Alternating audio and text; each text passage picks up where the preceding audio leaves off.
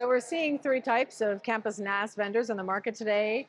Um, one of them is a, what we call the turnkey offer, which is really about a complete set of uh, managed services around a heterogeneous, complex network.